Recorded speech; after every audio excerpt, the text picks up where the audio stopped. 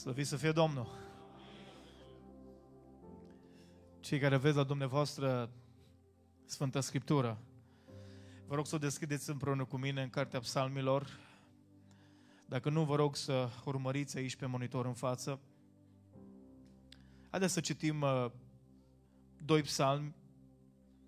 Acum noi îi citim de foarte multe ori, îi separăm, dar în textul ebraic ei de fapt sunt unul, șas, unul singur psalm.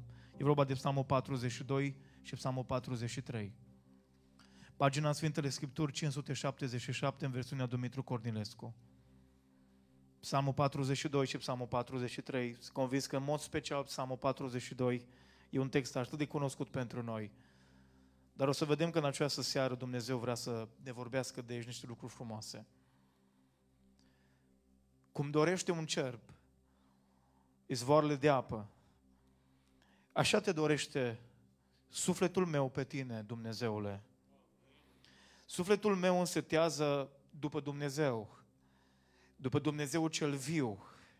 Dar uitați cum se schimbă tonul. Când mă voi duce și mă voi arăta înainte lui Dumnezeu? Cu lacrimi mă hrănesc zi și noapte când mi se zice fără încetare. Unde este Dumnezeul tău? Mi-aduc aminte și învărs tot focul inimii în mine. Când mă gândesc cum mergeam înconjurat de mulțime și cum înaintam în fruntea ei spre casa lui Dumnezeu, în mijlocul strigătelor de bucurie și mulțumire al unei mulțimi în sărbătoare. Pentru ce te mâgnești suflete și gemi înăuntrul meu? Nădăjduiește în Dumnezeu, căci iarăși îl voi lăuda. El este mântuirea mea și Dumnezeul meu. Îmi este mâgnit sufletul în mine, Dumnezeule, de aceea la tine mă gândesc din țara Iordanului, din Hermon, din muntele Mițear. Un val cheamă un alt val la vuietul căderii apelor tale. Toate talazurile și varurile tale trec peste mine. Ziua, Domnul îndădea îndurarea Lui, iar noaptea cântam laudele Lui și înălțam o rugăciune Dumnezeului vieții mele. De aceea zic lui Dumnezeu, stânca mea, pentru ce mă uiți? Pentru ce trebuie să umblu plin de întristare sub apăsarea vrăjmașului? Parcă mi se sfărâmă oasele cu sabia, că mă bajocorez vrăjmașii mei și îmi zic neîncetat, unde este Dumnezeul tău? Pentru ce te mâgnești suflete și gemi înăuntrul meu? Nădăjduiește în Dumnezeu, căci iarăși îl voi lăuda. El este mântuirea mea și Dumnezeul meu. Făm dreptate, Dumnezeule, apără în pricina împotriva unui neam nemilos, izbăvește de, mă, de oamenii plini de vicleșug și de fără de lege. Tu, Tu ești Dumnezeul care mă crotește, este mântuirea mea și Dumnezeul meu. Amin. Înainte să vă reașezați în prezența lui Dumnezeu, aș vrea să te rog să te uiți bine la cel care este lângă tine. Vreau să-i strângi mâna, fără frică de COVID, fără nimic, nicio altă frică și vreau să-i spui următorul lucru. Nu descuraja. Nu descuraja.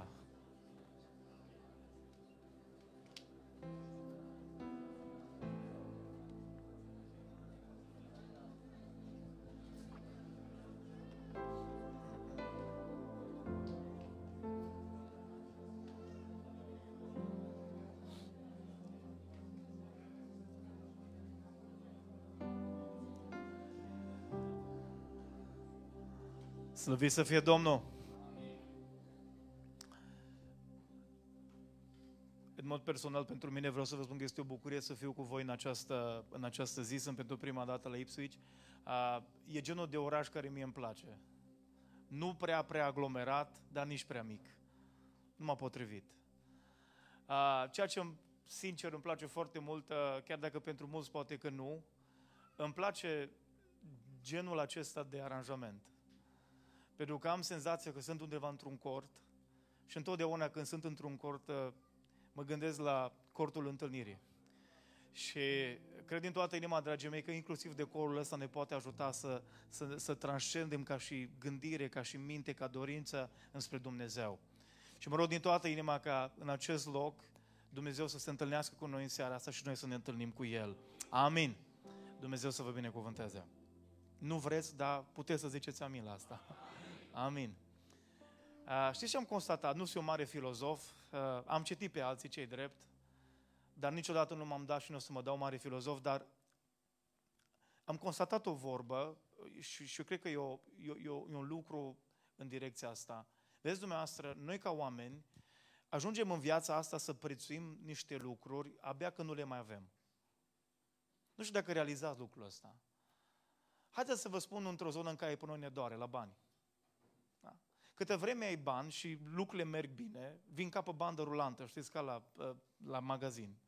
Câte vreme banii vin în viața ta și nu le simți absența, e ok. Dar ajungi la un moment dat în viață să, să treci prin etape, prin anumite momente, când pur și simplu nu mai e bani, te cauți bine în buzunar să vezi dacă ai bani de pâine sau uh, dacă îți permis să cumperi anumite lucruri. Și abia momentul când nu-i mai ai, îți dai seama, bă, dar erau buni. nu așa? Erau buni. Un alt lucru pe care, de exemplu, îl prețuim abia când nu-l mai avem este sănătatea. Acum, haideți să fim onești.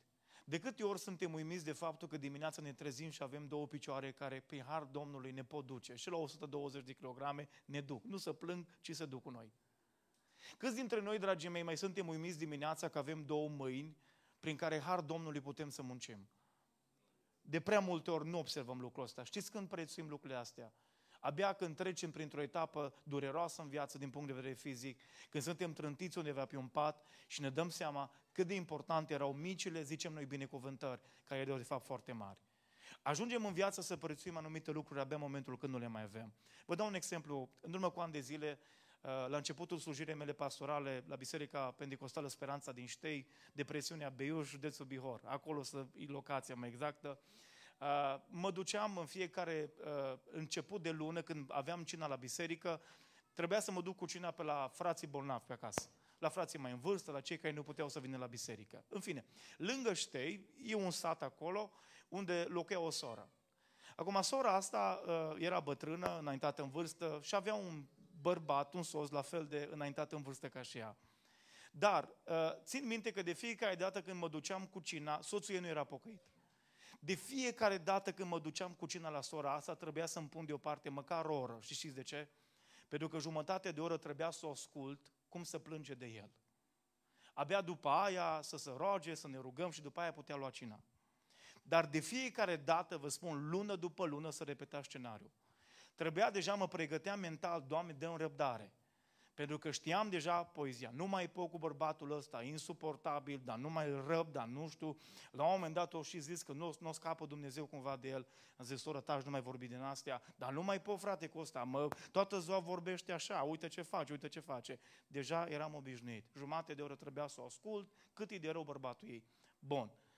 Trece vremea la un moment dat și soțul ei moare.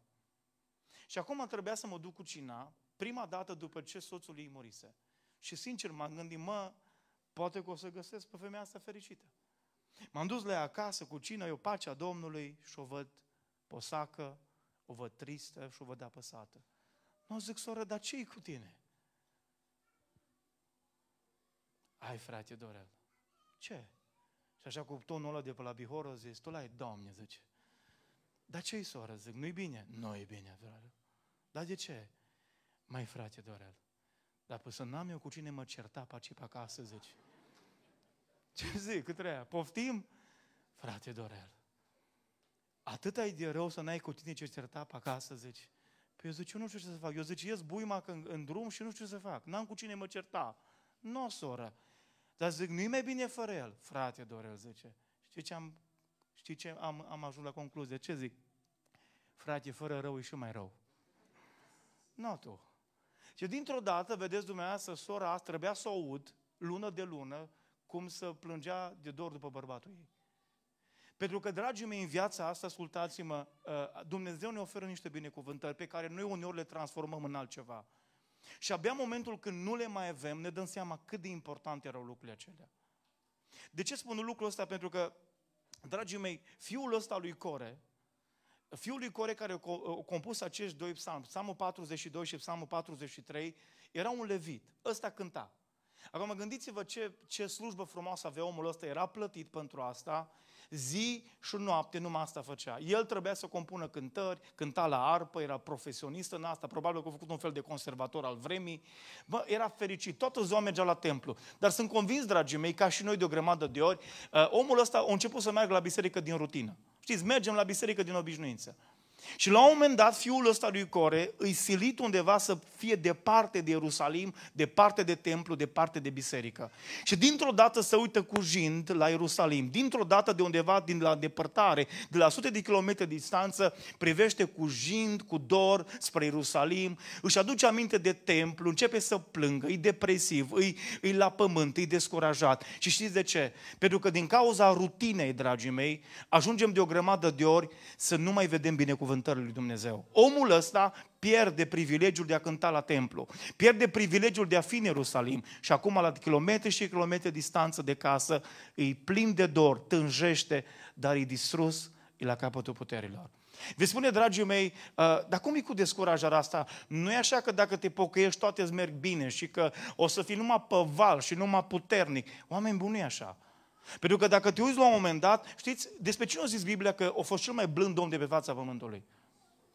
Nu, Moise. Știți ce a zis Moise la un moment dat? Oameni buni, nu zic eu ce o zice uh, Moise. Doamne, știi ceva? Mai bine omoară-mă. Atât ai descârbit Moise de poporul pe care trebuie să-l conducă spre Canaan, atât ai desătul Moise de oamenii ăia, încă știi ceva zice? Moise a zis, Doamne, mai bine omoară-mă. Eu nu mai pot. Pentru că mari oameni al lui Dumnezeu, dragii mei, trec prin momente și prin stări în viața asta când sunt la capătul puterilor, când sunt descurajat și nu mai văd nimic ca bun în fața lor. Aveți spune, de ăsta e Moise. Hai să ne, ne uităm puțin la un alt om care s-a rugat, spune Biblia, și la rugăciunea lui nu mai plouat trei ani și jumătate în Israel. După marile biruințe pe care le are Ilie, spune cuvântul lui Dumnezeu că stă undeva depresiv la o gură de peșteră și spune lui Dumnezeu, Doamne, știu ceva, ia-mi viața, ia-mă de pe pământ, pentru că știi ceva, nu-s cu nimic mai bun decât părinții mei.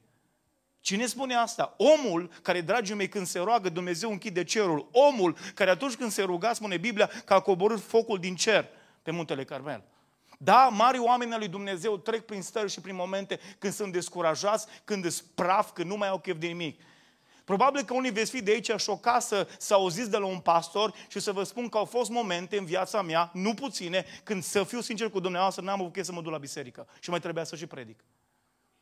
Îți momente în viața asta, ascultați-mă, când treci prin niște văi teribile. Îți niște momente când treci prin niște stări de descurajare, când orice altceva chef, numai de oameni nu mai e chef, numai de slujire nu mai e chef, numai de, de să-i auzi pe alții sau să-i vezi pe alții nu mai e chef.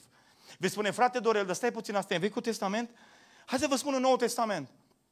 Spune cuvântul lui Dumnezeu că Pavel, dragii mei, trebuie să meargă la Roma să se înfățișeze înaintea cezarului pentru că avea un proces. Și ce interesant, Dumnezeu se descopere cât era încă în Israel la cezarea, câtă vreme în Israel spune Biblia că într-o noapte, într-o vedenie, Dumnezeu îi se descoperă și spune lui Pavel, Pavele, îndrăznește! După cum ai mărturisit la Ierusalim, va trebui să mă mărturisești la Roma în fața cezarului. Dumnezeu îi vorbește, dragii mei. Îi dă o revelație puternică. Dumnezeu îi apare în vedenia aia în fața lui Pavel. Și ce spune Biblia? Se urcă Pavel pe corabie și merge spre Roma, fapte 27. Și spune cuvântul lui Dumnezeu că atât de puternic la un moment dat începe să fie furtuna aia pe mare. Soarele, luna și stelele nu s-au mai văzut, spune Biblia, zile la rând. Și și ce spune Pavel la un moment dat? La urmă ne pierduse răm nădejdea. Nu au zis își pierduseră, ci spune ne pierduseră, adică inclusiv eu, cu toate prorocile, cu toate vedenile pe care Dumnezeu mi le-a dat, în momente în viață, uitați-vă, Pavel e la capătul puterilor. E într-un moment în care îi spune, mi-am pierdut nădejdea de scăpare. Pentru că, dragii mei, viața asta, situațiile prin care trecem în viață, ne duc uneori, ascultați-mă, să fim descurajați. Vreau în această seară, pentru că fiul ăsta lui Core, știți, de o grămadă de ori când am citit Biblia, Psalmul 42, eu sunt convins că versetul întâi, cum dorește un cerb. Noi am asociat, ascultați-mă, psalmul ăsta, noi l-am asociat cu un om care e plin de bucurie. Noi am asociat Psalmul 42 cu un om care e păval din punct de vedere spiritual. De fapt, Psalmul 42 e confesiunea unui depresiv. Psalmul 42 este mărturisirea unui om descurajat care e la capătul puterilor. Spune, cum dorește un, un, un cer bizvol de apă, așa te dorește sufletul meu pe tine. Și dintr-o dată, unde-i Dumnezeu? Nu mai pot. Trebuie să, să, să vorbească cu sufletul lui. Hai, suflete, îndrăznește, va fi bine. Doamne, de ce mă uiți? Uitați-vă cât de la pământ e omul ăsta. E un om descurajat. Ăsta e psalmul unui om descurajat. Vreau să ne uităm în această seară, știți de ce? Pentru că fiecare de aici, în frunte cu mine, cu tine, cu oricine altcineva, cu tine și copiii tăi, cu tine și soțul tău, soția ta, părinții tăi, prietenii tăi, frații tăi trec prin descurajări. Toți oamenii, ascultați-mă, trecem prin descurajări în viața asta. Important este cum ieșim din ele. S-ar putea în această seară să fii un om puternic, s-ar putea să fii pe val spiritual, s-ar putea să fie foarte bine, laudă Domnului. Dar știi ceva? S-ar putea să ai acasă o soție care e descurajată și habar să n-ai, să nici măcar să nu ai habar. S-ar putea să ai niște copii, să ai un copil care e depresiv, care e la capătul puterilor și tu ca părinte nici măcar să nu poți să-l citești bine, să nu-ți dai seama că se confruntă cu asta. Mesajul ăsta nu e numai doar pentru cei de aici care se luptă cu descurajarea, ci și pentru tine, ascultă-mă ce spun, să vină ajutorul altuia care e descurajat, pentru ca de acum încolo, din seara asta, să ai ochi să vezi mai bine, să poți să vină ajutor. Haideți să ne uităm în cuvântul lui Dumnezeu, dragii mei, pentru că psalmii ăștia 42 și 43 spun încă o dată, e confesiunea unui om descurajat. Confesiunea unui om descurajat. Și vreau să ne uităm în această seară cum să ne luptăm cu descurajarea din viața noastră. Primul lucru și cel mai important, aș spune, identifică sursa descurajării. Vezi de unde vine descurajarea. Dragii mei, există o sursă în viață, întotdeauna, care produce descurajare. Noi întotdeauna ne uităm doar la efect. Dar ca să tratezi o problemă, nu trebuie să rezolvi doar efectul, ci să mergi la cauză. Haideți să vedem care sunt rădăcinile, pe unde vine, de unde vine descurajarea în viața noastră. Uitați-vă câteva surse. O mare sursă al descurajării din viața noastră, dragii mei, este discrepanța dintre așteptări și realitate. Discrepanța dintre așteptări și realitate. Hai să vă spun cum. Dumneavoastră sunteți o comunitate cunoscută în toată România și în mediul evanghelic. Dumnezeu v-a binecuvântat și a binecuvântat comunitatea din Toflea și sunteți uh, peste tot. Slavă lui Dumnezeu! Să vă spun ceva. Probabil că foarte mulți de aici, când ați plecat din Toflea, de acasă, ați venit cu niște așteptări în Anglia. V-ați format niște vise și ați spus, mă, aici o să fie mai bine. Aici o să ne fie mult mai bine. Și de ce spun lucrul ăsta? Pentru că stau de vorbă cu foarte mulți oameni din diaspora. Pentru că stau de, am stat de vorbă cu oameni din America, români plecați în America, care se așteptau America să fie paradisul. Și au zis, frate Dorel, mâine ne-am întoarce. Că nu-i cum am crezut noi. Uneori, ascultați-mă, discrepanța dintre așteptări și realitate. Fiul lui Core spune Biblia că era o perioadă în viața lui când și ce făcea, în fiecare zi mergea la templu, în mijlocul unei mulțimi sărbătoare. Ce era? Numai bucurie. Și probabil că s-au așteptat fiul lui Core ca toată viața lui să fie numai cântec, joc și voie bună. Bă, fericire. Și dintr-o dată, e trist, e departe de Ierusalim, toate visele lui spulberate. Să o spun și mai direct? Sunt oameni care se căsătoresc. Wow! Plin de vise. Bă, ce fain o să fie. Soțul perfect, soția perfectă. Uh-huh. Și știți, sunt două etape în căsătorie. E prima etapă care ține cât luna, luna de miere, săptămâna la român, că e mai scurtă. Poate că englezii au lună, noi avem săptămână. Și care e prima etapă? În al nouălea cer. Și după etapa în al nouălea cer vine a doua etapă cu picioarele pe pământ. Direct din al nouălea cer caz cu picioarele pe pământ. Așteptări, soțul perfect, dintr-o dată se transformă. Să nu spuneți că nu e așa. Știți ce la mine la biserică, la consiliere? Trebuie să programăm cu rândul. Iluzii și deziluzii. Frate, mă așteptam să fie. Spunea, spunea o soră, acum ceva vreme, frate Dorel, soțul meu zice, când ne întâlneam în, înainte, la fiecare întâlnire venea cu o floare. Am zis, bă, dacă nu mă mări cu el, o să fiu cea mai nefericită femeie din lume. Când o zis, uh, zice, când mi-a cerut mâna, am zis, da, cu toată inima mea. Și acum zic cum e. Frate Dorel, în fiecare zi mi-aduce câte un reproș. Nu există, unul puțin. Mă așteptam să fie diferit. Discrepanța dintre așteptări și realitate produce dezamăgire în viața noastră. Probabil că te-ai așteptat ca viața în Occident să fie altfel. Probabil că te-ai așteptat ca viața în Anglia să fie altfel. Și nu-i cum ai crezut de multe ori. Alea să fim onești. Un alt, dragii mei, un alt, un alt, o altă sursă de descurajare în viața noastră, uitați-vă, este să trebuiască să fii în viață luat din mijlocul oamenilor cu care erai familiarizat. Fiul lui Core spune Biblia că era în mijlocul unei mulțimi în sărbătoare. Și dintr-o dată îi departe de mulțimea aia. Dintr-o dată nu mai cu oamenii cu care era obișnuit să fie. Viața te aduce, haideți să fim onești. Probabil că în România ai avut un anturaj de prieteni, ai avut un cerc de frați cu care te bucurai, aveai părtășii. Ai venit și încă ți-e greu să te acomodezi. Încă n-ai reușit să stabilești părtășiile alea. Ți-e dor de pe vremurile în care aveai rugăciune, aveai părtășii, poate, pentru că erai apropiat de niște oameni. Și ai venit și parcă încă te simți uneori străin. Pentru că smulgerea asta din mediul în care erai familiarizat, vedeți dumneavoastră, produce dezamăgire în viața noastră. Uitați-vă ce spune versetul 6. Îmi este măgnit sufletul în mine, Dumnezeule, de aceea la tine mă gândesc din țara Iordanului. De unde? Din țara Iordanului, auziți ce spune mai departe, din Hermon. Hermonul, dragii mei, este cel mai nordic punct al Israelului. Hermonul este cel mai înalt munte din Israel și se află la o distanță mare de Ierusalim. Și fiul lui Core, acest fiul lui Core, se uită de pe muntele Hermon, se uită spre Ierusalim, la zeci și sute de kilometri departare. Acolo e casa mea. Acolo e părinții mei, acolo sunt frații mei, acolo era părtășia, acolo era templu și acum ați departe. Și omul ăsta e descurajat. Vă duceți aminte ce spune celebrul Psalm 137 pe care le știm? Pe malul râului Babilonului. Unde? Pe malul râului Babilonului. Ce făceam? Ședeam jos și plângeam. Și de ce? Pentru că ne aduceam aminte de ce? De Sion. Și aici, suplitorii noștri ne cer să cântăm cântările Ierusalimului. Cum să cântăm noi cântările Ierusalimului? Aici. Când ești rupt din mediul în care ai familiarizat, asta te, te, te, te, te, te rupe unor, te face praf. Să ajungi să faci în viață ceea ce nu-ți place, iarăși, dragii mei, un lucru, ascultați-mă, că îi produce descurajare în viața noastră. Să fii obligat să faci în viață ceea ce nu-ți place. Am întâlnit cu ani de zile în urmă aici la Londra, aproape, eu zic aceea aproape, acum că nu e așa mult, nu? Pe la distanțele din Anglia.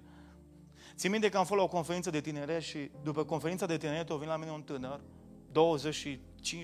de ani pe acolo undeva, a venit la mine și a zis, frate Dorel, ai două minute să vorbim? Și a zis, da.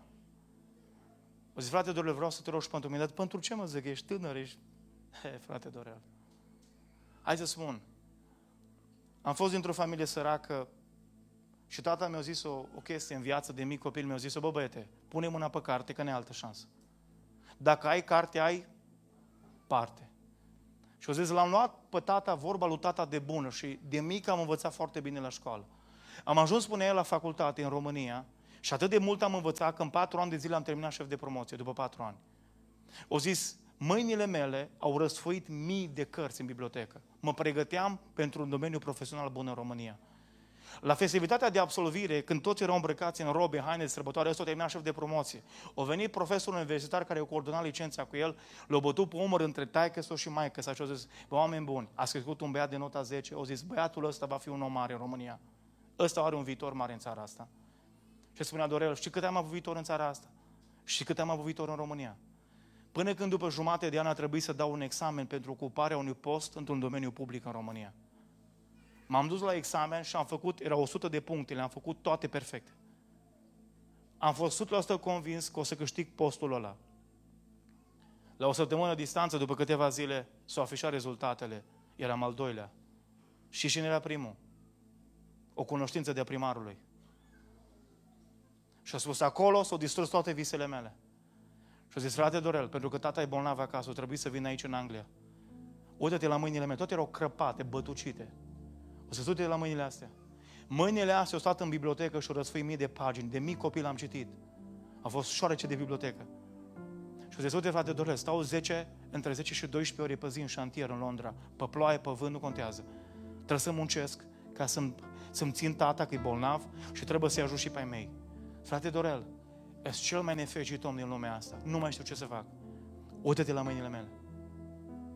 Trebuiau să răsfească pagini de cărți și trebuie să pună mâna pe sapă.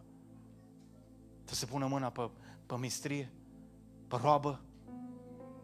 Pentru că vedeți dumneavoastră și mă uitam la un om descurajat. Descurajat pentru că ajungi în viață să faci ceea ce nu-ți place. Și ești uneori silit să faci asta. Un alt motiv, dragii mei, pentru care, pentru care ajungem să fim descurajați în viață, psalmul ăsta 42 și 4 abundă de, de informații. Uitați-vă, știți pentru care oamenii, un alt motiv pentru care oamenii sunt descurajați, o altă sursă, să trebuiască să stai într-un, într-un anturaj cu oameni ostili. într-un anturaj cu oameni ostili, versetul 9, zici ce spune, de aceea zic lui Dumnezeu, stânca mea, pentru ce mă uiți? Pentru ce trebuie să umblu plin de întristare? Unde? Sub apăsarea vrăjmașului. Unde să stea omul ăsta? Într-un loc în care mulți îl bajocoreau. Să trebuiască să lucrezi într-un anturaj, să trebuiască să stai între oameni care te bajocoresc. Să trebuiască să stai cu cineva în casă care toată ziua te arată, îți arată cu degetul. Nororile știți despre ce e vorba. Și viceversa. Știți cât de greu să, să trebuiască să stai lângă cineva în viață care tot ziua, bă, nu ești bun de nimic, habar n-ai, ești zero, tu nu știi să faci nimic, mă împiedicatule. Știți cât de greu este ca toată viața cineva stai într-un anturaj cu oameni ostili, care se comportă în loc ca niște frați, se comportă ca niște vrăjmași cu tine? Care în loc să pună umărul, spun piedică? Care în loc să te ajute, te încurcă în viață? Ajungi să fii descurajat, poți să fii Moise, poți să fii Ilie, ești prăbușit uneori. Ajungi să fii terminat. Știți, un, un alt motiv, dar uitați-vă, un alt motiv pentru care oamenii ajung să fie descurajați, impresia, îi pare ciudat, la cum începe psalmul ăsta? Cum dorește un cer izvoarele de apă, așa te dorește sufletul meu pe tine, Dumnezeule. Câte îndemnuri am dat tot din psalmul ăsta până nu l-am înțeles bine. Și mă opream numai la primul verset. Eu nu mă asta luam primul. Aleluia, fraților! Stai, citește restul să vezi. Și ce spune la un moment dat? În versetul 9. Puneți, vă rog, versetul 9. De aceea zic lui Dumnezeu, stânca mea. Ce îi spune? Pentru ce mă uiți? Unde e bucuria? Stai că nu-i bucurie aici în psalmul ăsta. Stai că nu-i cerb, stai că nu-i izvoare, stai că aici e depresie, stai că aici e descurajare, stai că aici e durere de cap. Pentru ce mă uiți? Nu să vă imaginați cum a scris omul ăsta psalmul ăsta. Când ai citești versetul întâi, scrie că e un om care e în bucurie la templu. Aleluia, Iisus Hristos e Domnul. No. Ăsta e undeva într-o chilie, într-o crăpătură de stâncă. Și scrie cu lacrimi să uite spre Ierusalim. Doamne, de ce mă uiți? Noi n-am avut asta niciodată în viața, așa Noi nu ne-am pus întrebările astea? Ba da. A, că putem noi să... Știți? I-am spus cu mine întotdeauna e un risc când mă cheamă cineva în biserică. Și care e riscul? Riscul să fiu prea onest. Vreți să vă spun că n-am avut momente în viață când m-am întrebat, Doamne, de ce mă uiți? Vreți să mint? Vreți să ne prefacem în biserică? Vreți să părem aici că suntem cei mai tari și cei mai grozavi? Când de fapt trecem prin momente în viață când, când stai și te uiți și spui, Doamne, de ce mă uiți? Unde ești, Doamne? Impresia că Dumnezeu a uitat de tine. Asta e o sursă de descurajare. Știți care e o altă, un alt, o altă sursă a descurajării? Identifică sursa descurajării din viața ta ca să știi să te lupți cu descurajarea. Știți care este? Pierderea răbdării în fața încercărilor. Pierderea răbdării în fața încercărilor. Eu știu că am... Știți că există câteva grade ale răbdării? E răbdarea, mi-a zis unul și nu o să niciodată. O zis, frate, doar fii atent, zice. E răbdarea, e îndelunga răbdare, e răbdarea, spuneți. Și știți care e a patra? La Sfântul așteaptă. Stai, zic, cum e aia? Mult și bine. Ascultați. Versetul 2. Dar de fapt, 4, deci Psalmul 4, vă rog tare mult, ajutați-mă de la media, Psalmul 42, începem versetul 1, să-l mai citim o dată și după aia versetul 2. Nu ascultați cum începe, da? Hai să luăm o dată. Cum dorește, eu așa îl citeam. Și cum citeam eu psalmul ăsta? Să vă spun cum îl citeam înainte. Mă duceam la von sau acasă, cum dorește un cer bizvoarele de apă, așa te dorește sufletul meu pe tine, Dumnezeule. Sufletul meu întristează după Dumnezeu, după Dumnezeu cel viu. Când mă voi duce și mă voi arăta înaintea Dumnezeului Dumnezeu cu lacrimă? Și așa treceam peste ele. Stai, Dorel, oprește-te. Înapoi. Stai, stai, stai. Ascultă. Sufletul meu întristează după Dumnezeu, după Dumnezeu cel viu. Când? Când mă voi duce și mă voi arăta înaintea lui Dumnezeu. ce e acolo? Semnul întrebării. Când? Accentul cade pe cuvântul când. Și știți de ce? Când, Doamne? Că de trei ani tot aștept. Când, Doamne? Că de cinci ani mă tot rog. Mi-ai promis, Doamne, mi-ai spus, am avut lucrare, am avut prorocie. Când? Îți de doi ani în muntele Hermon, mă uit spre Ierusalim. Mi-aduc aminte când mă duceam la templu, când mă bucuram. Când mă voi întoarce înapoi? Când va fi bine? Când o să fie pace în familia mea? Când o să se întoarcă copilul meu din lume? Când o să se schimbe bărbatul meu? Când o să o vindești pe soția mea? Când? Și de ce? Pentru că își pierde răbdarea. Avem noi o cântare, după ploaie și furtună va veni ce? O zi mai bună. Și ce m-am gândit? Ce faci în viață când după ploaie și furtună vin alte ploi și alte furtuni? Și numai soarele nu mai vezi. Fiul lui Core, dragii mei, și-a pierdut răbdarea. Ăsta e psalmul unui om descurajat și depresiv la capătul puterilor, cum suntem și noi uneori în viață. Cum însă de lângă noi și nu avem ochi să vedem. Suntem prea bucuroși noi să mai observăm durerile altora. Suntem prea egoiști noi să mai vedem necazul altuia. Când mă voi duce și mă voi răta înaintea Dumnezeului celui viu? Uitați-vă câteva surse pentru care, pentru care oamenii sunt descurajați. De aia identifică în seara asta bine, gândește-te bine în seara asta de unde vine descurajarea din viața ta. Ai avut așteptări care ți-au fost înșelate în căsnicie de la țara asta, de la oameni. E o discrepanță între impresie și realitate. Trebuie să faci ceva ce nu-ți place. Ai niște oameni pe lângă tine care toată ziua te apasă în loc să te ridice, care toată ziua te, te, te bârfesc de te rup. Ți-ai pierdut răbdarea în fața încercărilor? Ai impresia că Dumnezeu te-a uitat? Astea sunt câteva motive, dragii mei, câteva surse prin care descurajarea vine în viața noastră. Pentru că al doilea lucru pe care vreau să subliniez, ca să știm cum să ne luptăm, cum să ne luptăm cu descurajarea din viața noastră, al doilea lucru important, pe lângă a identifica de unde vine descurajarea, doi, observă semnele descurajării tale. Observă-le, deschideți ochii. Aici, la punctul 2, avem nevoie de ochi atenți, dragii mei. Spun încă o dată, dacă azi ești bine, laudă-Lui pe Dumnezeu, slăvește-L pe Dumnezeu. Dar ascultă-mă bine ce spun. S-ar putea să fii părinte. S-ar putea să ai copii care se duc aici la școală. Și copilul tău când vine acasă nu spune cu ce să confruntă, că e discriminat. Că e român. Copilul tău poate nu spune care are în clasă doi care în fiecare zi lumile și o bajocoresc. Nu o să spună asta, că se închide în el. Și dacă n-ai ochi să observi ca părinte, habar n-ai prin ce trece copilul tău. Habar n-avem, uneori, ascultați-mă, stai aici cu soția ta în casă toată ziua și habar n-ai prin ce trece ea. E prea greu să spun anumite lucruri.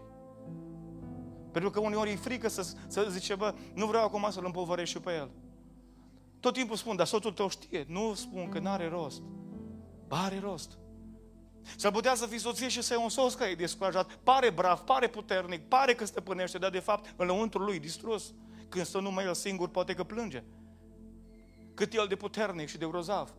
Cât e de bine îmbrăcat, ascultă-mă. Când e singur pe mașină, poate că plânge de rupe. Pentru că, oameni buni, asta e viața. de avem nevoie să observăm semnele descurajării. Știți cum putem să observăm descurajarea din viața unui om?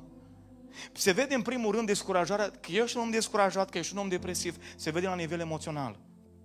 Primul lucru în care poți să-ți dai seama că un om e descurajat e la nivel emoțional. Nu fiți atenți. Când citiți Psalmul 42 acasă, și ce observați? Cu atenție la detaliu. Știți ce observ? Ăsta zice, suflete, nădăjduiește în Domnul că va fi bine. Pentru ce mă uiți, Dumnezeule? Păi stai mă, că acum te contrazici. Citiți Psalmul 42, vă ia 3 minute, 4 acasă. Și ce o să observați? Ăsta acum mai sus, acum mai jos. Acum crede, acum nu crede. Acum spune că va fi bine, acum spune că Dumnezeu uită de el. Și și ăsta, un semafor emoțional. Omul care, ascultați-mă, râde și plânge într-un minut. E un om descurajat, de fapt. Acum râzi, acum plângi, acum spui, va fi bine, peste două minute. Bă, nu știu, nu mai cred, nu, nu cred, nu știu. Va fi bine, nu va fi bine, va fi bine, ba nu. Semafor emoțional. Instabilitate emoțională. Uitați-vă la fiul lui Core. Acum crede, acum nu crede. Acum spune că Domnul va ajuta, acum spune că nu mai crede nimic instabilitate emoțională. Dar știți care e o altă sursă un, un alt lucru care îmi spune că omul ăsta e descurajat și care îi spune că tu ești descurajat sau cel de lângă tine e descurajat, știți care este? Nostalgia. Nostalgia. Ascultați, versetul 4. Mi-aduc aminte și învărs tot focul inimii în mine când mă gândesc la ce? Cum mergeam înconjurat de mulțime și cum înaintam în fruntea ei spre casa lui Dumnezeu în mijlocul stricătelor de bucurie și mulțumire unei mulțimi sărbătoare. Și ce am făcut noi pocăiții? Hai să spunem. Am simțit nostalgia. Să ne ierte Domnul pentru asta. Vin foarte mulți oameni, fraților, să vedeți acum 20 de ani, când a fost o trezire la noi, să vedeți acum 40 de ani, când era fratele Pavele de la Oradea, să vedeți. Să vedeți acum 5 ani, când eram, să vedeți acum 15 ani, când eram botezat cu Duhul Sfânt și mergeam. Dar azi, he, nostalgie. Toate experiențele tale la trecut. Doar un om descurajat e nostalgic. Oamenii descurajați, de fapt, sunt oameni nostalgici. Și noi ce am făcut? Noi am sfințit nostalgia. Auziți, numeri 11, vă rog dacă puteți spune, numeri 11 cu 4. Ascultați aici. Adunării de oameni care se afla în mijlocul lui Israel a venit poftă. Ba chiar și copiii lui Israel au început să plângă și să zică Cine ne va da carne să mâncăm? Știți ce e un paradox aici? Ne aducem aminte. Și vă rog lăsați versetul ăsta aici. Ne aducem aminte. Mai departe. Da? Aici, lasă-l ăsta, te rog așa. Oameni buni. Ce mâncau ăștia în fiecare dimineață? Ce culegeau? Ce culegeau în fiecare dimineață? Mană. De unde venea asta? Știți ce asta? Minune. Ok? Bun. Și ce spune Biblia? Că s-a întâmplat 40 de ani cu sandalele lor și cu hainele lor. Ce s-a întâmplat? Nu s-a rupt. S-au îmbolnăvit? Nu. Dar nu vi se pare ciudat că tu trăiești minuni astăzi și tu ești nostalgic după trecut. De ce se aduceau ei aminte? Ascultați, că ăștia cred că au fost români. Zice, ne aducem aminte de pești care îi mâncam în Egipt și care nu ne costau, că de aia nu ne costau nimic. De castravezi, de pepen, de praj, ăștia erau olteni, 100%. De ceapă și de usturoi. Poftim? Ce fain era amus 40 de ani în Toflea când mâncam ceapă. Băi, mănânci steak astăzi.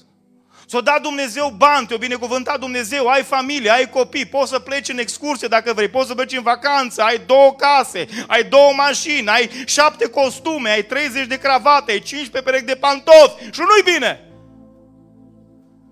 Că mi-aduc aminte când eram, mi-aduc aminte când eram varză, când eram ceapă, praz, usturoi. Oameni buni, nu se poate Dumnezeu să te binecuvânteze astăzi, să vezi minuni în viața ta, să trăiești în supranatural și tu să fii nostalgic după trecut. Și cine sunt ăștia? Oamenii descurajați. Oamenii care nu mai văd nimic bun în prezent, ci numai totul ideal în trecut. Blamăm prezentul, idealizăm trecutul. Ca și fratele ăla care s-a dus într-o biserică și l-a pus frații să mărturisească. El a fost rău la viața lui. Că bine o zice cineva că, bă, dacă vine unul la noi la biserică și zice, fraților, prin Harul lui Dumnezeu, de mic copil am fost în casa lui Dumnezeu, am fost... A, vine unul, am spart, am jefuit, aleluia, toată lumea. Da? Și au zis unul, povestea, fraților, să vedeți, băutură, droguri, băga acolo, să vedeți, caz, am spart, am rupt, am... Și în toată, ah, zice, oh, ce vremuri. Și acum dor. Ce vremuri, zice. Mai că regreta acolo pe loc, în biserică. Fraților, oamenii descurajați sunt oameni nostalgici. La nivel emoțional, la nivel fizic. Te rog, pune versetul 3. În seara asta o să transpiri împreună cu mine aici. Psalmul 42, versetul 3. Semnele unui om descurajat. Descurajării se văd la nivel fizic mai apoi. Ascultați aici.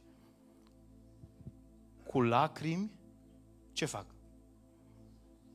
Mă hrănesc zi și noapte. Două observații. Ce mâncă omul ăsta? Ce mâncă? Nu mâncă. că e umplută viața de lacrimi. Știi ce fac oamenii descurajați? Și ce fac oamenii depresivi? Nu mai au poftă. Al doilea detaliu. Când? Zi? Nu spunem psalm că eu mă culc și adorm? În pace. Că tu veghezi asupra mea. Ce, ce cu omul ăsta? Nu mănâncă și nu doarme. Când nu mai mănânci și când nu mai poți dormi, când nu te poți odihni, când nu mai știi când e zi și noapte, ascultă-mă ce spun, ești un om descurajat. Ăsta e semnul la nivel fizic. La nivel fizic. Versetul 10 spune, parcă mi se sfărâmă oasele cu sabia când mă bajocoresc dușmanii mei. La nivel fizic simte durerea. Semnele unui om descurajat, observă, deschideți-vă ochii și trebuie să ne deschidem ochii în seara asta. Că s-ar putea să ai o soție lângă tine care e descurajată și ea nu-ți arată. Dar la nivel emoțional, când vezi că plânge și râde într-un minut, când se contrazice, când e nostalgică și totul și nostalgic, soțul și copiii, e o problemă acolo.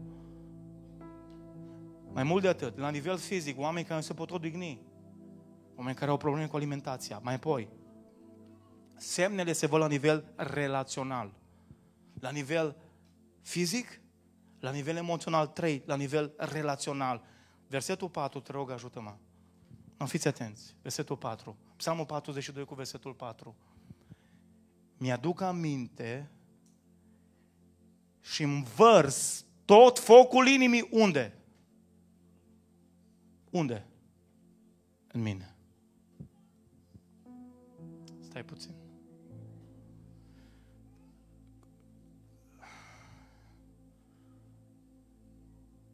Cei mai mulți exegeți ai Bibliei spun că fiul lui Core îi în muntele Hermon, în nordul Israelului, e departe de Ierusalim, știți din ce cauză? Pentru că dacă vă aduceți aminte când Absalom, fiul lui David, s-a răsculat împotriva lui, a venit înspre Ierusalim și David ce-a făcut?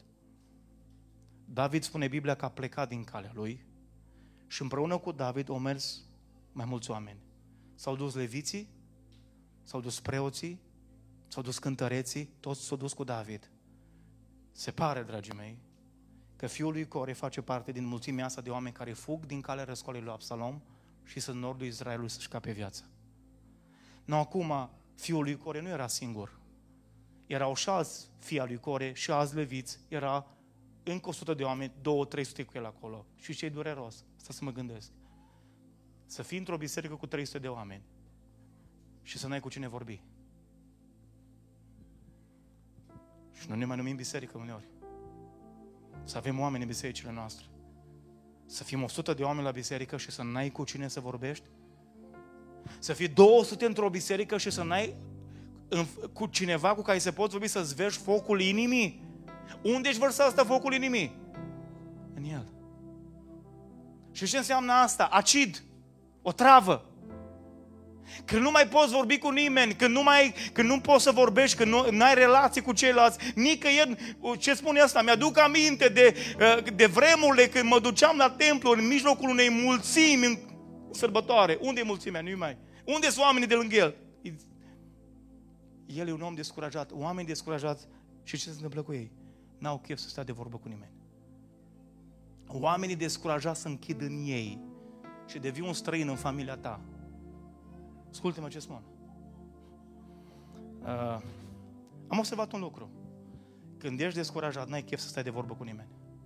Poți să fie păstor, poți să fie proroc, poți să fie oricine. Nu mai ai chef de vorbă cu nimeni. Tot la ștei pe vremuri, țin minte, aveam un grup în biserică de surori, astea erau grupul de vizitare la bolnavi.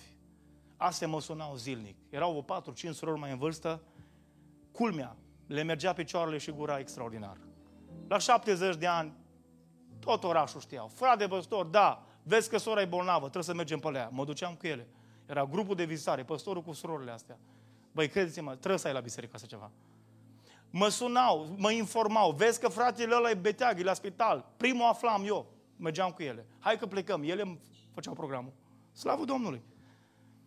La un moment dat zice, hai că fratele cu tare, zice, am auzit că e amărât, e bolnav, hai să mergem pe la el. Bun. Cine e fratele? Era un frate în vârstă, 70 ceva de ani, bolnav, îi murise soția, era singur.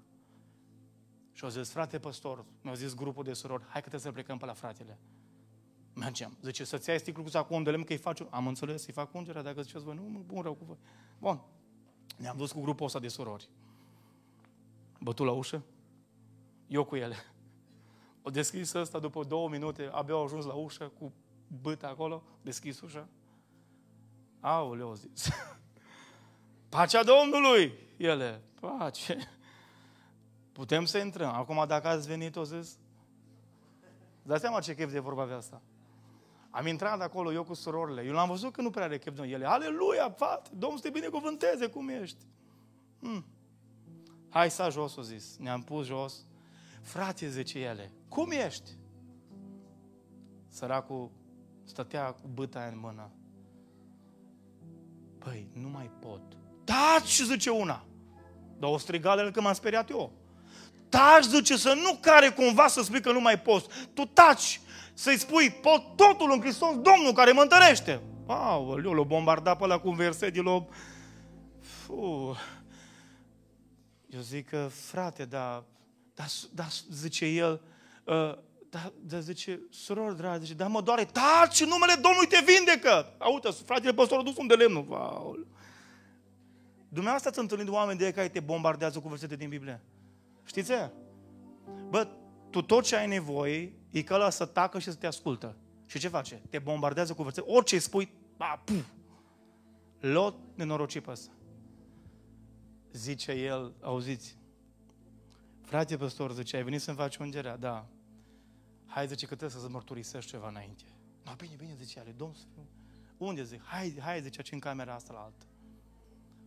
Am intrat în cealaltă cameră, s-a pus jos, s-a uitat la mine. O să frate Dorel, mă doare capul. Fii atent, o zis. Dacă le mai prind pase la mine acasă, le arunc pe geam afară. Bătrân cu măs, le arunc pe geam afară. Bă, zice, astea anunță-le că eu nu mai pot. Zic, stai aici. Mă duc la... Zic, uh, surorile zic, ascultați, uh, fratele are multe de povestit. Trebuie să se povedească mai mult. Ah, dar zice, zic, mergeți acasă că trebuie să stau mult cu el și zic, las că venim altă dată. No, bine, bine, Domnul să lucreze, amin. Domnul să spui să-l întreb. Las, bun, bun, mergem să mă închis ușa. Și acum am stat eu cu lecție de teologie. Ascultați, mi-am făcut șase ani de teologie. Toate cărțile nu m-au învățat chestia asta. Am stat lângă fratele meu, el pompat, eu pe patul celălalt. Și a început să-mi povestească. Și a început să-mi spună. Și ce a început să facă la un moment dat? Tot focul inimii nu l-a mai vărsat în el, ci a început să-l verse. Știți ce am făcut? Două ceasuri aproape. Am tăcut, n-am scos un cuvânt și nu m-am ascultat.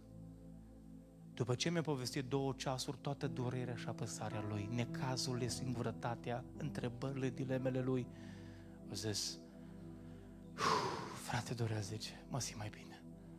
Dumnezeu să te binecuvânteze. Zice, mă bucur că ai venit pe la mine. Domnul să... Nu ne rugăm, lasă, zice. E bine, mă simt bine, zice.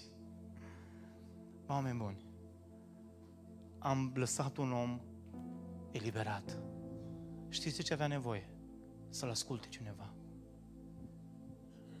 Atât. Noi bombardăm cu versete din Biblie. Noi evangelizăm noi.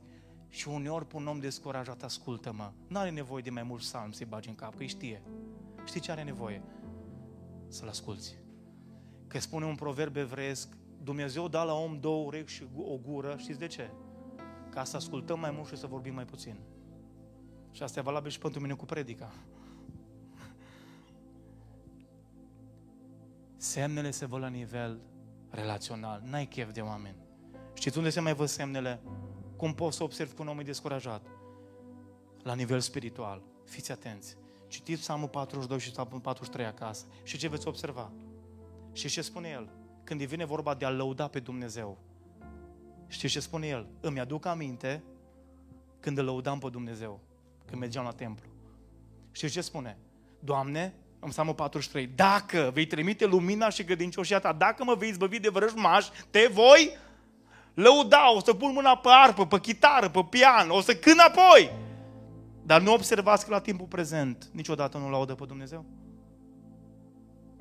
Oamenii care zic, bă, îl lăudam pe Dumnezeu, eram plin de putere. Doamne, dacă mă vei vindeca, Doamne, dacă o să mă scoți din faliment, dacă mă scoți din necaz, te voi lăuda. Dar niciodată la timpul prezent nu te laudă.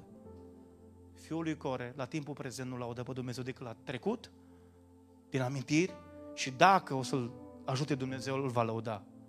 La timpul prezent, nu. Știți care e un om descurajat? Nu-l poate lăuda pe Dumnezeu, să poate bucura în biserică, nici acasă. Ați auzit de Martin Luther, probabil. Noi știm, mare om al lui Dumnezeu. Să o întrebați pe nevastă sa. Martin Luther a fost un Petru la puterea a cincea. Temperamental, dar un om pe care Dumnezeu a lucrat. Să știți că și prin ăștia lucrează Dumnezeu, cu putere. Martin Luther a fost, dacă citiți memoriile despre, des, despre el, biografii despre el, o să rămânem șocați. Aveau ei discuții despre reformă, bătea cu pumnul în masă câteodată. Tăceți! Era un om cu temperament.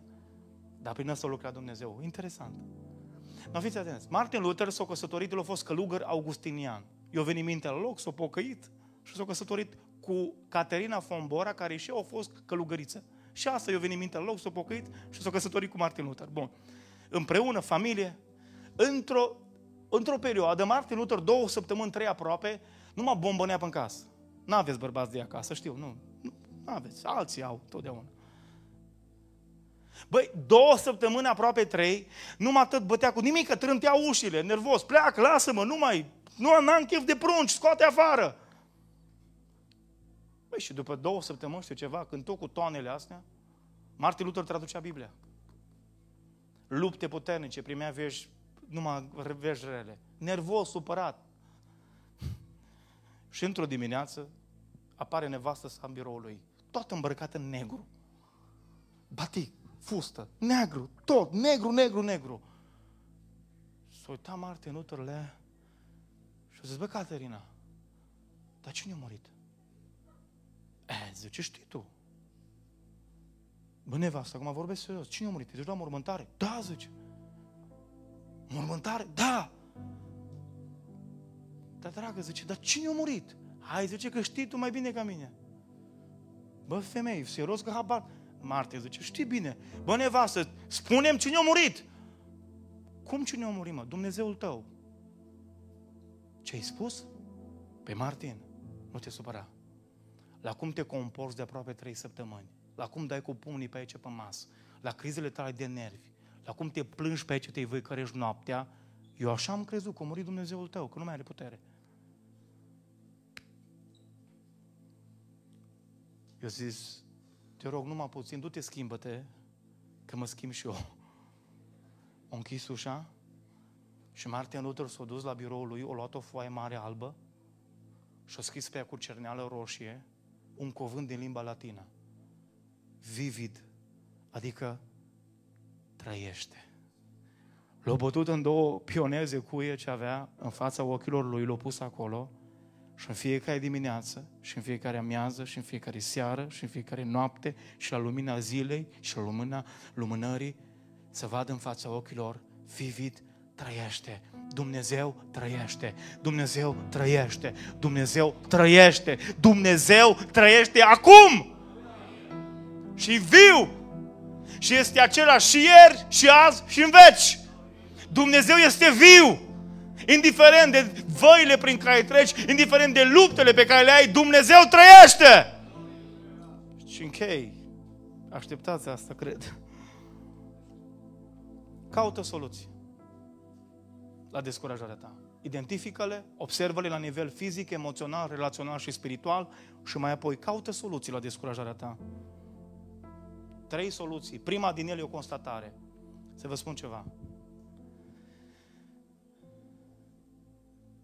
Am fost crescuți în biserici fiecare dintre noi și ni s-a spus că trupul va putrezi, că nu are nicio importanță, că sufletul contează, corect? Bun. Dar de câte ori ați auzit dumneavoastră o predică, din ce spune Apostolul Pavel, inspirat de Duhul Sfânt al lui Dumnezeu, când spune că trupul este ce? Ce-i trupul? Opa. Cum vom învia? Cu ce trupuri? Cu astea. Dar cu astea vei învia și vei fi transformat. Bun. Și ce trebuie să înțelegi tu și cu mine? Sufletul și cu trupul tău sunt legate între ele. Sufletul influențează trupul, trupul influențează sufletul tău. De aia ai grijă. Fii atent cu programul tău, cu orarul tău, cu ora de culcare, cu munca pe care o faci, nu exagera. Nu abuza de trupul tău. Și de ce? Că dacă ți obosești trupul, hai să spun ceva. Să spui tu mie că stai 14-15 ore, muncești zilnic și dintr-o dată vii plin de Duhul Sfânt la biserică. Duhul e plin de rână, dar știți cum e trupul? Nici 5 Red Bull nu te mai salvează. Corect? Un predicator scoțian, ascultați-mă, un predicator scoțian, 1905-1906 a fost o mare trezire în Scoția, aici aproape, la Cardiff. 250 de mii de oameni s-au întors la Dumnezeu atunci. Un predicator de 30 de ani, 5 ani de zile s-a dus cu calul, că nu erau mașini pe vremea aia, la evangelizări în toate satele. Că așa avem impresia noi câteodată că Dumnezeu trebuie să ne ducă peste tot locul. Greșit. Și că trebuie zilnic și zilnic și zilnic și nu mai contează noaptea și ziua și vin ăia care ne, ne spun ei câte nopți la rând stau și se roagă. E bine, ascultați-mă, nu spun. Dar tot Dumnezeu spune să te odihnești. Ok. Și ce scrie omul ăsta la 30 de ani pe patul morții? Știți din ce a murit? Ați auzit de burnout, epuizare. Sindromul burnout. Îs ăștia care muncesc și într-o dată, puf, cad. Și le fac uh, ăștia analizele, uh, le face autopsia și îți dă seama că de fapt a murit de epuizare. Pentru că n-ai grijă de trupul tău, ascultă-mă ce spun. Îți obosești sufletul. Și ce a scris predicatul ăsta scoțian la 30 de ani, ultimele lui cuvinte în jurnal, în jurnal pe patul de spital, mor de epuizare. O zis așa, Dumnezeu, vă citesc, Dumnezeu, o zis el, mi-a dat un cal și în paranteză, trupul meu. Și o scrisoare, în paranteză, Evanghelia. Dar o zis el, vai neisprăvitul de mine. Am omorât calul, trupul, și nu mai pot duce scrisoarea, Evanghelia. Dumnezeu vrea să lucreze cu tine încă 30 de ani acum, dar la cum te, la cum te îți trăiești viața, în 5 ani te duci. Oameni buni, trupul, bun, hai să, numai puțin, n-are de-a face trupul cu sufletul. Hai să ne gândim o chestie. Dumneavoastră știți că cele mai multe forme de diabet nu sunt din cauza mâncării. Cele mai multe forme de diabet nu sunt din cauza zahărului. Cele mai multe forme de diabet din lume, dragii mei, sunt din cauza stresului. Știți de unde vine stresul? De la nivelul sufletului. Și iată cum sufletul se influențează trupul, se îmbolnăvește trupul. Ești stresat și toată ziua mănânci stres pe pâine, după 5 ani de zile vei fi diabetic. Influențează, da. Și spui mie că nu ești descurajat, ești la pământ? Caută soluții. Ai grijă de trup și de sufletul tău, în egală măsură. Un alt lucru, cred că cel mai important, și ce fă? De trei ori, versetul 5, pune-te rog versetul 5, Psalmul 42, versetul 5.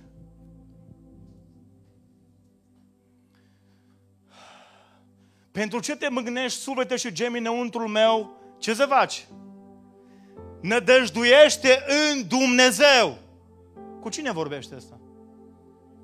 Cu cine vorbește fiul lui Core? Și cu cine vorbește? Cu sufletul lui. Wow, stai puțin. Dumneavoastră știți că noi cel mai mult în lumea asta vorbim cu sufletul nostru. Tu nu vorbești cu nevastă ta cât vorbești cu sufletul tău. Nici măcar cu Dumnezeu nu vorbim cât vorbim cu sufletul nostru. Nu vorbești cu copiii tăi, cu prietenii tăi, nu vorbești cât vorbești cu... Cel mai mult vorbești cu sufletul tău. Și ascultați-mă, știți că e cea mai mare greșeală noastră? Să scăpăm de descurajare, nu mai lăsa sufletul să vorbească. Vorbește tu sufletului tău. Ce îi spunea sufletul fiului lui Core? Dumnezeu m-a uitat. Ce îi spunea sufletul în fiecare zi fiului lui Core? Oh, mi-aduc aminte. Ce îi spunea sufletul fiului lui Core? Ce ce spunea? Nu mai pot! Nu mai rap, nu mai rezist, m-am săturat, până aici, când? Și dintr-o dată zice ăsta, stop! Și de trei ori se repetă, dragii mei, versetul ăsta,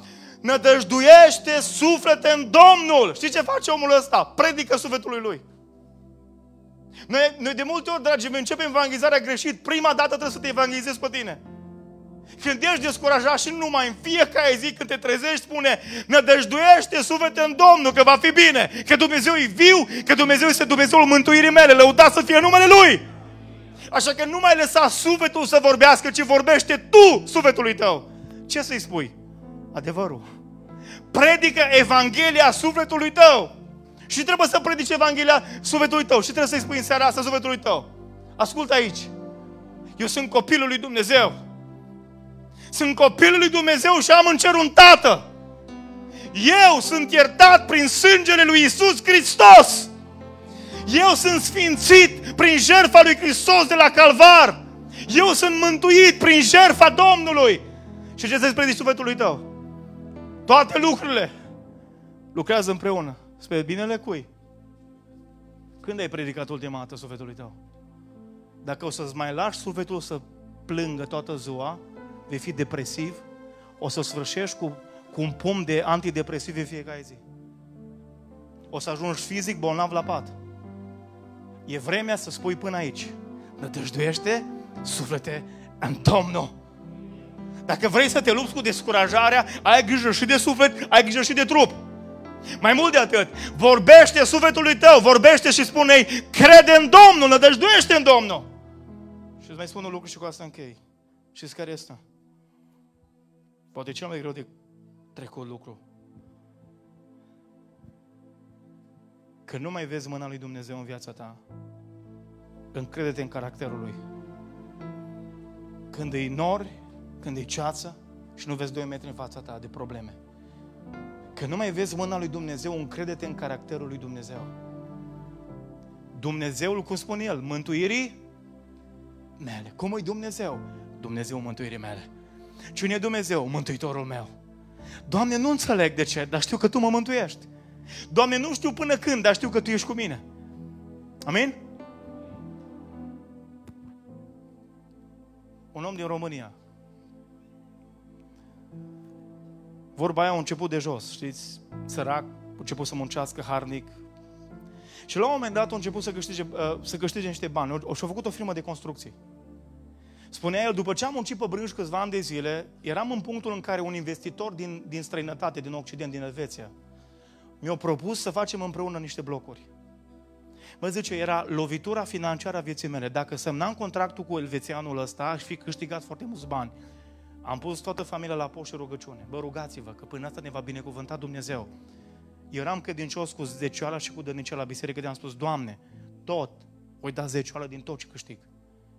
Am postit și m-am rugat cu familia două săptămâni și ceva. Lunia trebuia să mă duc să semnez contractul. Mă duc, bucuros, mă rugam pe mașină și dintr-o dată în oraș.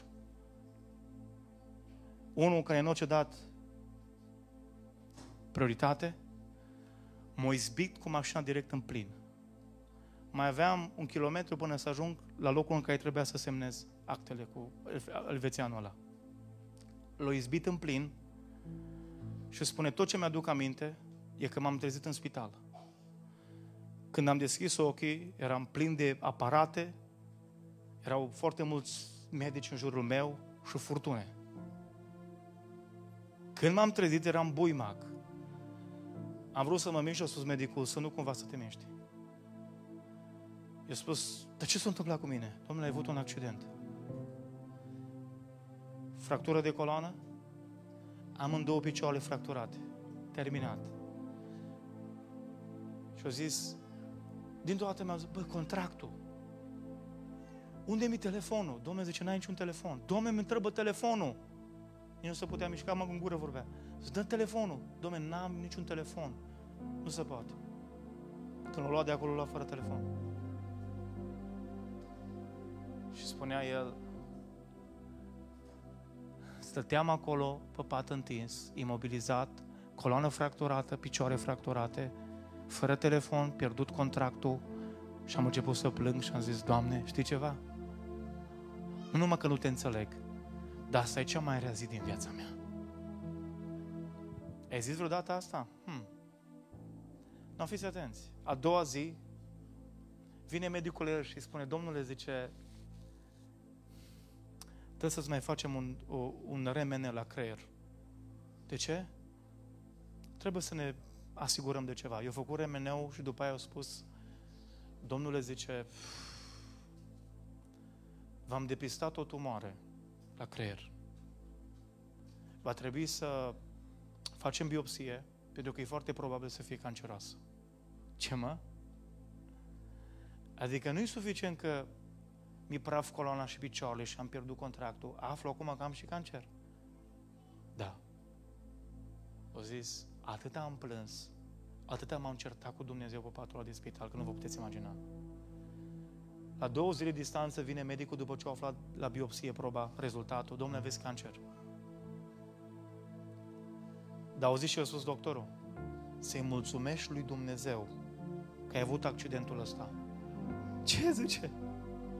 Bă, omule, să-i mulțumești lui Dumnezeu că ai avut accidentul ăsta, că dacă mai treceau 3-4 săptămâni, și oricum nu-ți dădeai seama, dacă mai treceau 3-4 săptămâni, tumoarea asta canceroasă era așa de mare că nu mai putea fi operată. Și ai fi murit. Într-o lună erai în pământ. Sănătos, erai în pământ. Spui tu. Să mulțumesc lui Dumnezeu pentru cancer? Da. Și să-i mulțumesc lui Dumnezeu pentru accident, că dacă n-ai fi avut accidentul, nu, nu depistam la timp. Un an jumate, oameni buni, un an jumate o stat în spitale, chimioterapie, operație, chestii.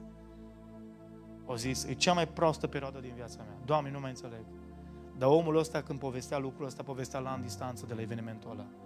Și zis, fraților, am ajuns la urmă mai târziu să-i mulțumesc lui Dumnezeu pentru accidentul ăla. De nu era accidentul, nu scăpam de cancer. Muream, sigur. Nu numai că m-a scăpat Dumnezeu și acum ați viu, dar spuneam, o binecuvântat Dumnezeu infinit mai mult decât aș fi câștigat prin contractul ăla. Pentru că știți, uneori în viață, când ești descurajat și nu mai vezi mâna lui Dumnezeu și te întrebi unde e mâna lui Dumnezeu, încrede-te și în ce? În caracterul lui Dumnezeu, că totul va lucra spre binele tău. Hai să ne în picioare.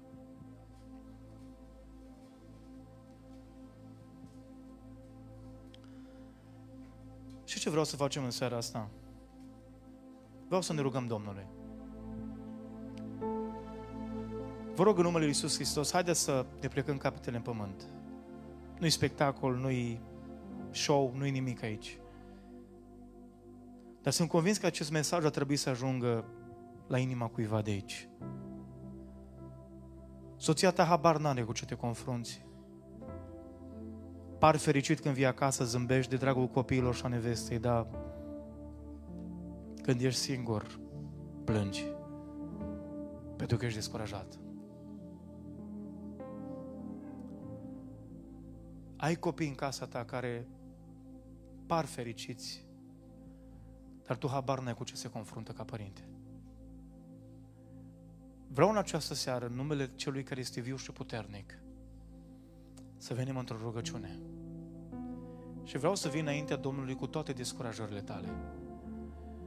Dacă este cineva aici care simte că e la capătul puterilor, dacă e cineva care se confruntă cu stări de descurajare, dacă treci printr-o vale și simți că e greu să mai crezi și să mai speri, dacă simți că nu mai ai puterea să mergi înainte și ești descurajat, descurajată, în această seară, din valea vieții tale, și ce fă? Fă un lucru spre Dumnezeu, nu spre mine. Acolo unde ești, ridică o mână sus și spune, Doamne, eu sunt descurajat și Tu mă știi. Doamne, în seara asta vreau ca Tu să mă ridici din valea asta. Dumnezeu vede mâinile voastre în seara asta.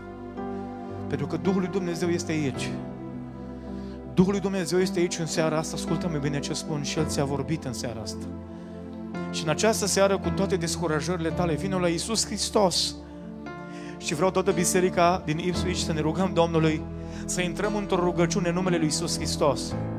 Vreau să ne rugăm și după aceea, dacă se poate să pregătim cântarea și mă ridic în numele Lui Iisus, mă ridic. Dragii mei, intrăm în rugăciune în momentele astea pentru că e așa de important Vino la Isus Hristos cu toate dezamăgirile tale, cu toate descurajările tale. Știu că ai avut așteptări care ți-au fost înșelate în viață. Știu că poate ești la pământ, știu că poate mulți te văd în picioare, dar tu ești prăbușit la untric. Dar în această seară, de cine te ascunzi? Dumnezeu este aici, Dumnezeu te vede. Isus Hristos te poate ridica. Isus Hristos te poate ridica în seara asta. El te ridică. El te ridică din dezamăgirile tale, din descurajările tale, din depresia ta, din anxietățile tale. Isus Hristos este Domnul! Roagă-te în seara asta, spune Doamne, ridică-mă! Haideți să intrăm în rugăciune toată biserica, pentru că știu că treci prin momentele astea, pentru că știu că te confrunți cu ele. Toți am trecut pe aici, toți vom trece pe aici. Haideți să ne ridicăm în rugăciunea asta și să strigăm către Domnul, Doamne, ridică-ne! Începe în seara asta să vorbești sufletului tău. Spune-i sufletului tău, nădăjduiește suflete în Domnul! Nădăjduiește! Spune-i soțului tău, nădăjduiește în Domnul! Când soția ta spune că nu mai poate, spune ca soț, nădăjduim în Domnul. Când spui în fiecare seară, doare, Doamne, se mai poate schimba ceva, spune în seara asta, nădăjduiește suflete în Domnul. Haideți să intrăm toată biserica în rugăciune, ne intrăm și rugăm Domnului. Doamne, scoate-ne din descurajare, Doamne. Scoate-ne din descurajare în seara asta, Dumnezeule. Venim, Iisuse Hristoase, la Tine. Venim, Iisuse Hristoase, în numele Tău cel Sfânt în seara asta să ne rugăm. Doamne, credem, Doamne, că știu, Doamne, că sunt atât de mulți care se bizuiesc pe cai și pe carele lor, Doamne. Ei se îndoaie și cad. Dar noi ne ridicăm și rămânem în picioare. Pentru că Domnul este cu noi. Iisuse! Te rog în seara asta, dacă sunt oameni apăsați, dacă sunt oameni descurajați, dacă sunt oameni care și-au spus în ultima vreme că nu mai pot, că nu mai rezistă, că nu știu ce o să fie, Doamne, vorbește-le în seara asta și dă-le putere prin Duhul Tău cel Sfânt, Doamne, să vorbească cu sufletul lor, să vorbească sufletul lor adevărul, că Iisus Hristos este Domnul. În seara asta, chiar dacă nu văd mâna Ta, Doamne, făi să audă bătăile inimii tale de tată, făi să înțeleagă că sunt iubiți, făi să înțeleagă, Doamne, că sunt acceptați în Hristos și ca un viitor și o nădejde. În numele Lui Isus Hristos ne rugăm în seara asta. Doamne, te rog, Doamne, dă-ne puterea să ne ridicăm în seara asta. Dă-ne puterea să ne ridicăm în numele Lui Isus Hristos. Ne ridicăm în numele Lui Isus Hristos. Noi nu ne bizuim pe oameni, pe medicamente, pe tratamente, pe soluții omenești. Noi ne bizuim în numele Lui Isus Hristos. Noi ne bizuim pe puterea Dumnezeului Celui Mare și Sfânt. Isus Hristos este Domnul, rugul aprins în seara asta. La Ipsici, Iisus Hristos se liberează. Iisus Hristos te măduiește. Iisus Hristos ridică. Iisus Hristos întărește. El este aici. El este aici. Popor al Domnului, ridică-te în seara asta. Ridică-ți ochii spre cer. Iisus Hristos are putere. El te ridică în seara asta. Și spune și tu că te ridici în numele lui Isus și că nu te vei bizui pe cai și pe carele altora, pe relații, pe cunoștințe, pe prieteni și te vei bizui pe Domnul. În numele Lui Isus Hristos, în numele Lui Isus Hristos ne rugăm în seara asta. În numele Lui Isus Hristos, Tată din Cer, venim înaintea Ta